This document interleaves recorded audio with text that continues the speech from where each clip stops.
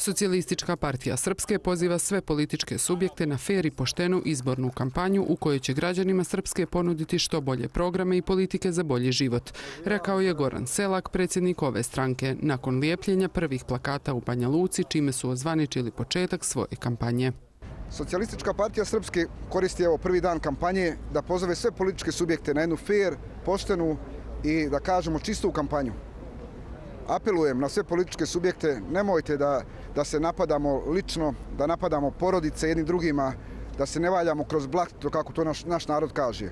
Dajte da se urazumimo, dajte da, da našim građanima Republike Srpske e, se borimo sa što boljim programom, što boljim politikama i što boljim idejama kako da naš narod Republike Srpske živi bolje, kako da zaustavimo odlazak mladih, kako da vratimo naše porodice i naš narod u Republiku Srpsku koji nas je napustio i kako da se izborimo sa svim problemima koji, sa kojima se suočava naš narod i naša Republika Srpska. Socijalistička partija Srpske ide sa najboljim timom u ove izbore.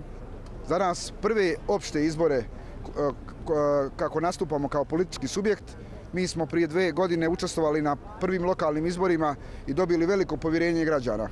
U 23 lokalne zajednice naša partija je parlamentarna partija, dobili smo povjerenje građana, preko 30.000 ljudi je glasalo za naš program i za našu socijalističku partiju Srpske.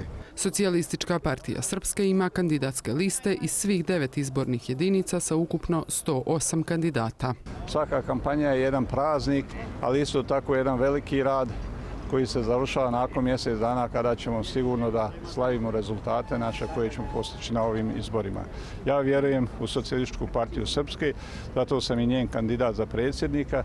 Vidjeli ste kako je prošlo ovo predizborno vrijeme, izborno vrijeme, dosta toga će promijeniti i vidimo se 2. oktobra na kraju izbora. Na trgu Krajine u Banja Luci zalijepljeni su plakati Neđa Đurića, kandidata SPS-a za predsjednika Republike Srpske, kao i Gorana Selaka, nosioca kandidatske liste SPS-a za parlament Srpske u izbornoj jedinici 3.